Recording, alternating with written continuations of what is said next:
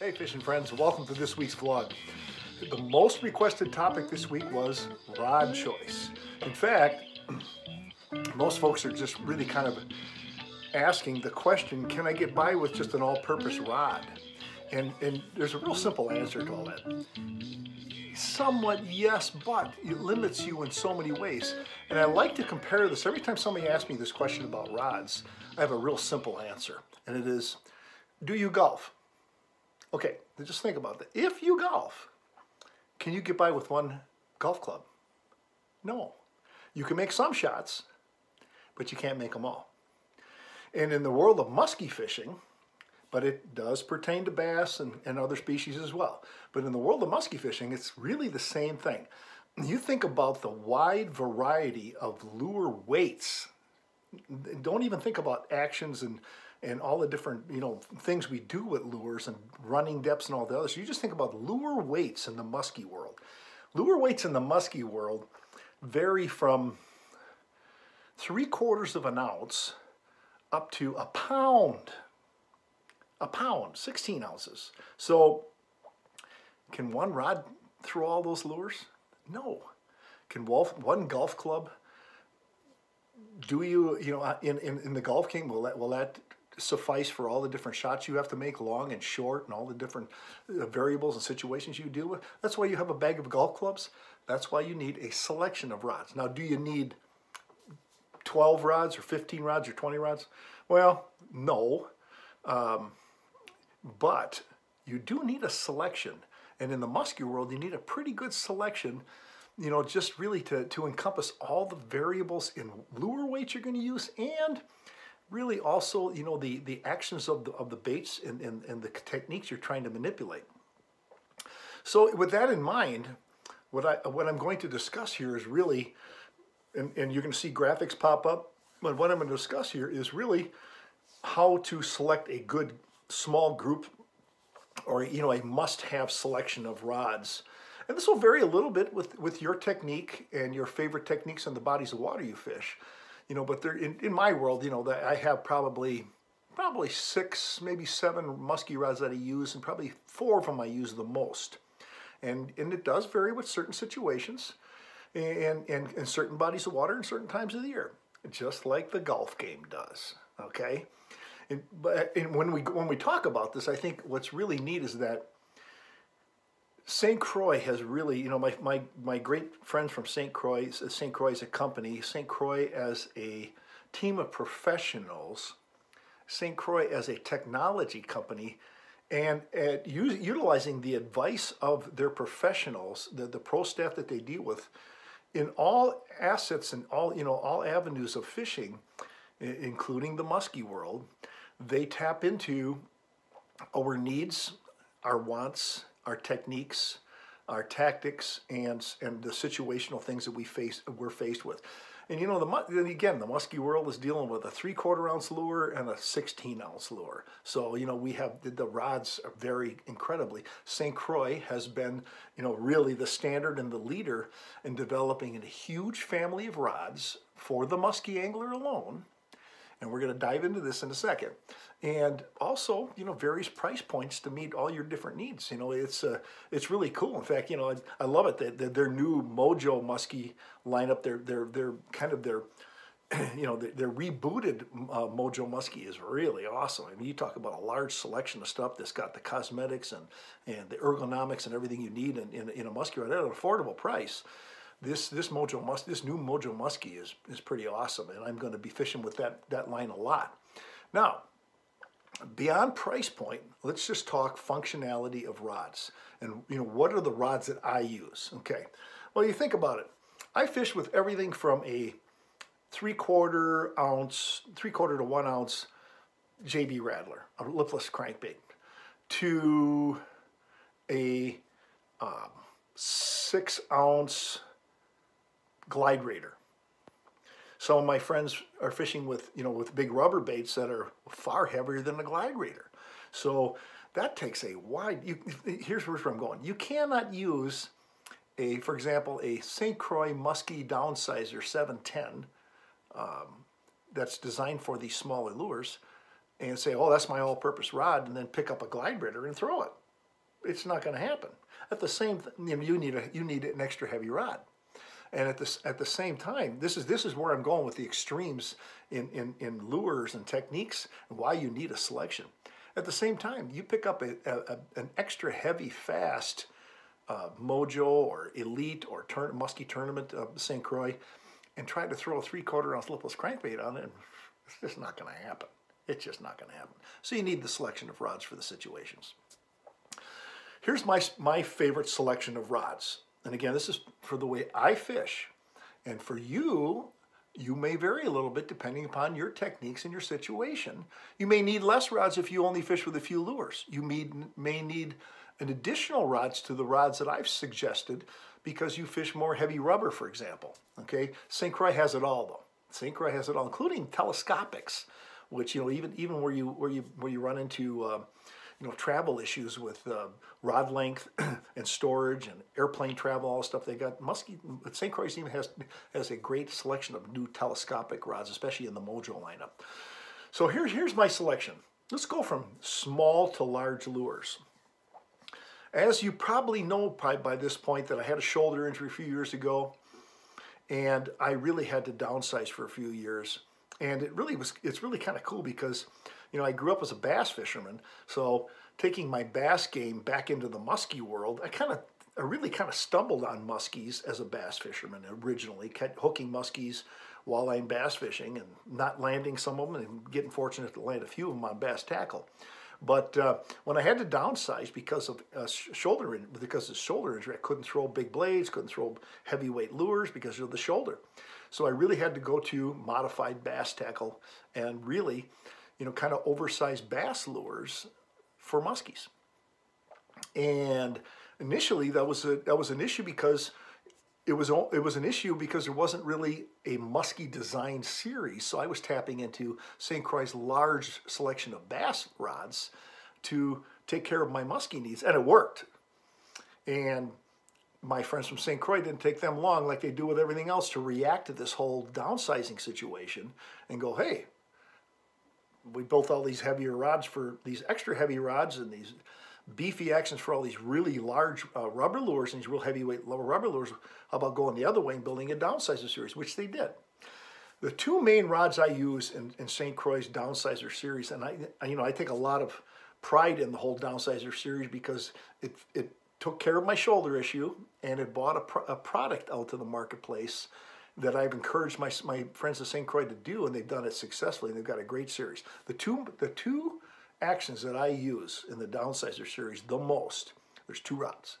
One is their nine footer, their nine foot medium light, and their 710 medium fast.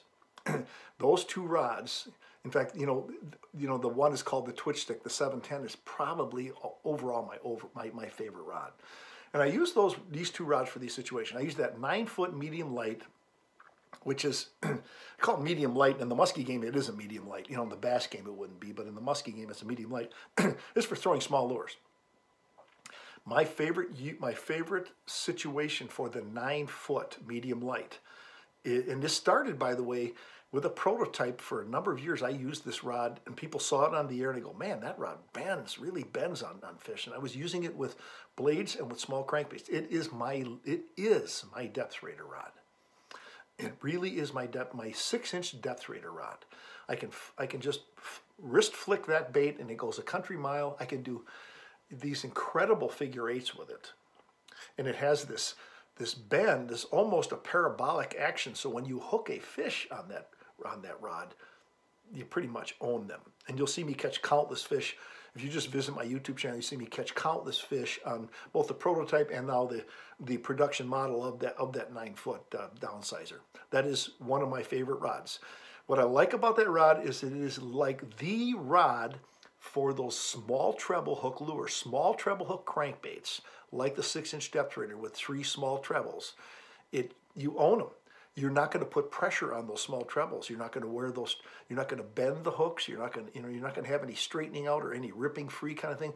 Once you get the hooks into that fish, and you can, and you'll easily do that because it's like an oversized bass rod. It would make a great big bass rod, by the way, and I do intend to try that in some situations for bass and big pike.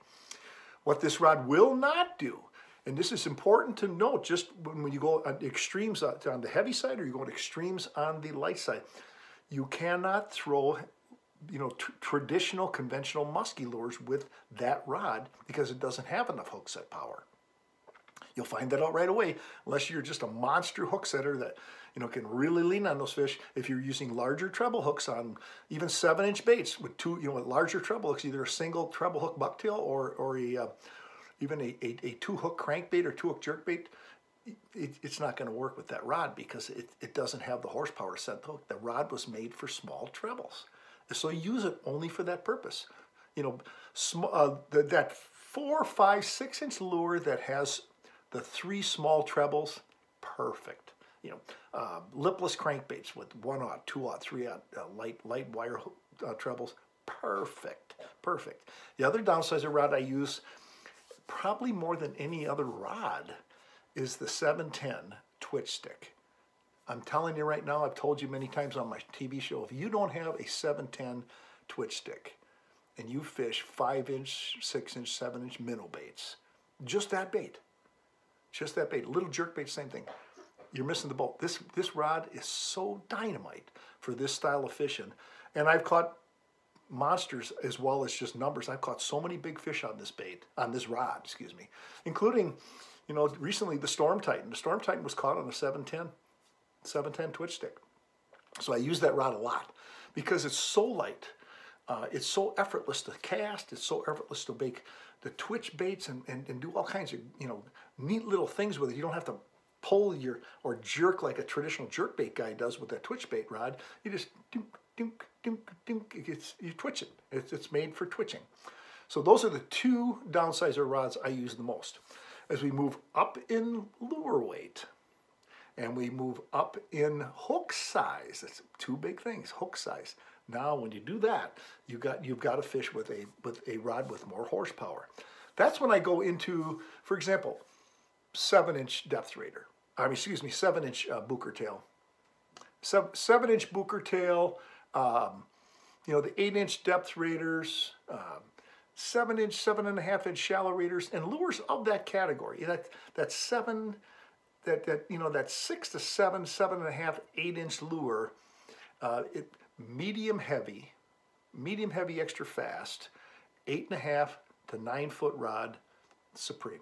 Just supreme. Now, by the way, the length of rod, let's just stop right there for a second. Length of rod is important in today's world for two things. Most importantly, extra rod length makes your figure eight superior.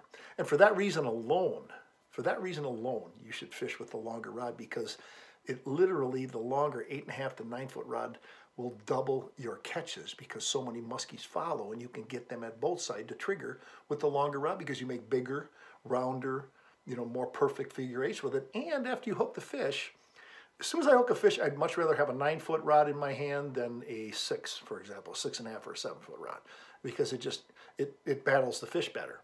So you need longer rods.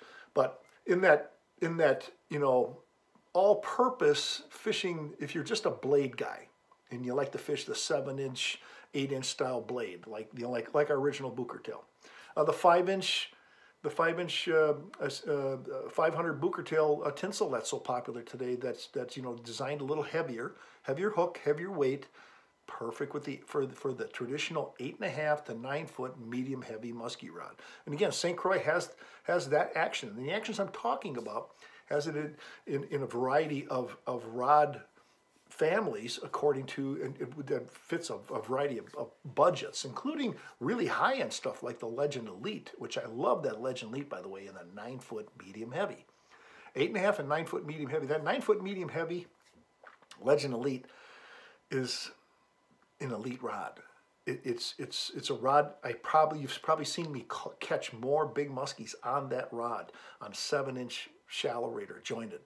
You know, it's just a crankbait rod. It's a great seven inch to eight inch blade rod.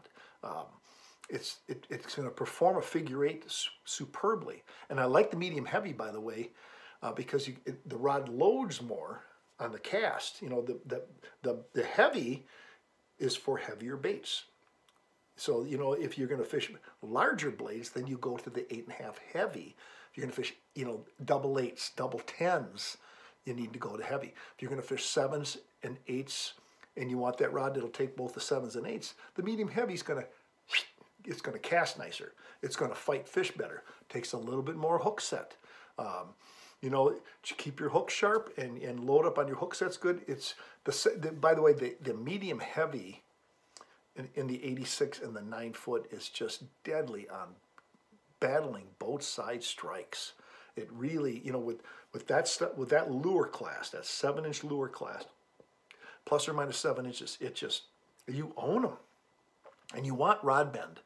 Once the hook set, you want rod bend because then you don't put stress on the fish. You keep more of an even pressure on the fish, and uh, you keep a lot more of those fish hooked at both side with uh, with the medium heavy. Now, as you go up in bait size, up in bait weight, you need to go to heavy. Okay, so once you get to, for example, in the muskie world, you know, the a big bait in the muskie world is the double eights and the double ten blades. Um, a lot of the top water lures, you know, from the top raider. Top raider can be fished on a medium heavy, by the way, very, very, pop, very, very easily. But when you using some of the other um, tail rotating prop style lures that are a little heavier than a top raider, you might need to consider the heavy. That 86 heavy you know, it's often called the sling blade. You know, it, it was called the sling blade in the tournament, in the muskie, in the Legend Muskie tournament uh, class, but it's just basically the 86 heavy. 86 heavy is a great double eights, double tens top water rod. It's also a really good rod and my preferred rod for bigger crankbaits, that eight and nine inch class crankbait.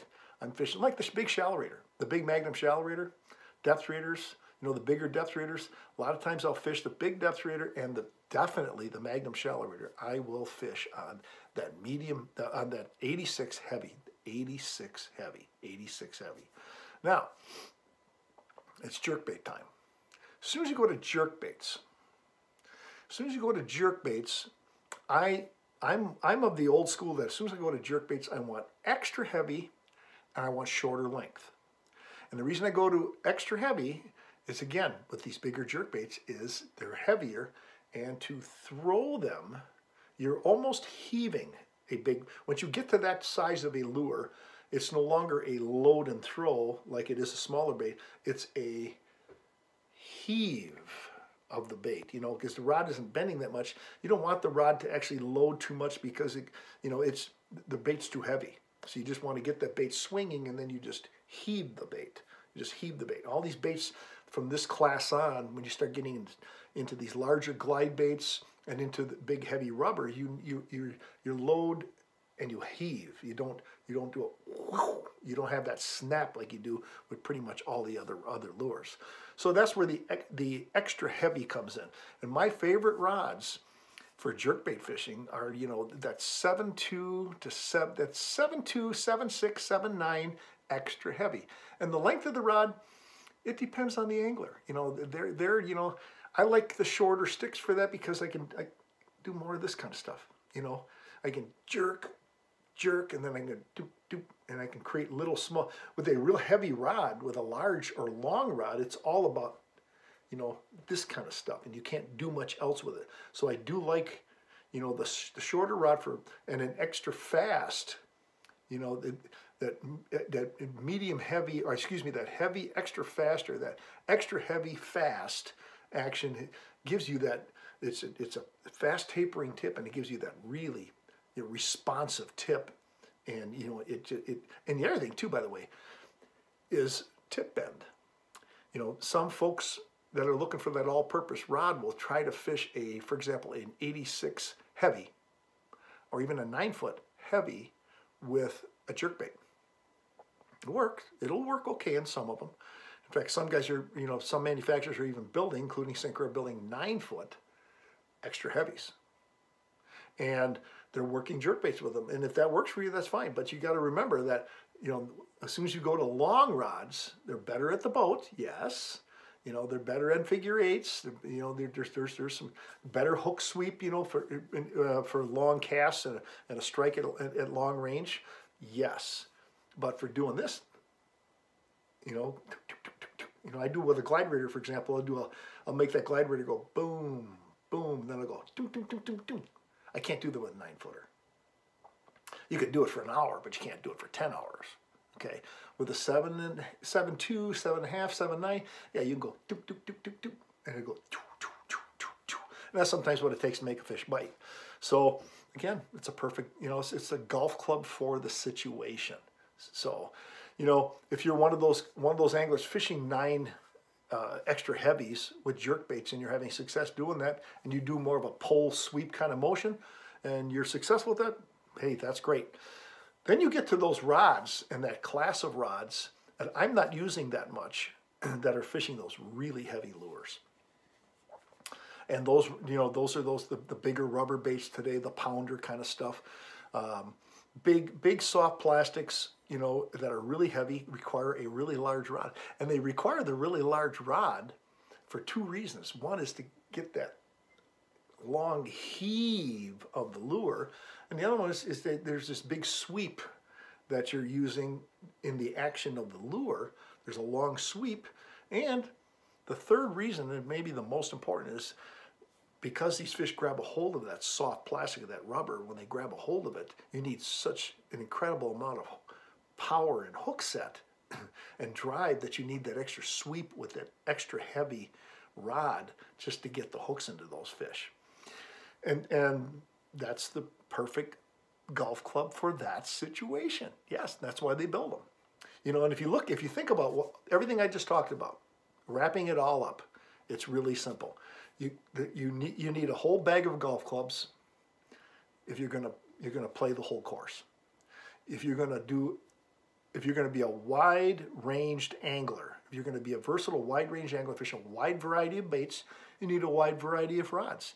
If you're gonna narrow down to just a couple of things you do well, you, you need less rods. Generally on the deck of my boat, and you probably can see it in a lot of my videos, photos and stuff you can see, generally on the deck of my boat I've got probably four rods pre-rigged. And it's probably a 710. It's probably a, a 9, those two downsizes, the 9 and the 710 twitch stick. Okay, There'll be a 9 foot medium heavy There'll be a 86 heavy, so now we got four rods up there, be an 86 heavy up there. That 86 heavy will probably have double 10 or a big shallow on it, a Magnum shallow Um, and then there'll be a jerkbait rod up there, and that will be a a 7.2, a 7.6, or 7.9, depending upon the rods I'm using. You know, I like the Legend Elite, the Legend Elite, and, and the Legend Tournament. You know, the jerk, what they call the jerk uh, in that extra heavy seven, that, that, that rod is made for glide raiders, big jerk baits. So those, I probably have those five rods. Those five rods will be on my deck.